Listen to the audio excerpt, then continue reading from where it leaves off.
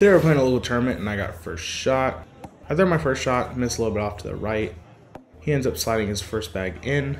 So for my second shot, I'm to try to block here. End up missing a little bit off to the left, leaving him a gap. But he ends up running into it and pushing it closer to the hole. So now I know I'm to go for a collect because max he's going to get is 10.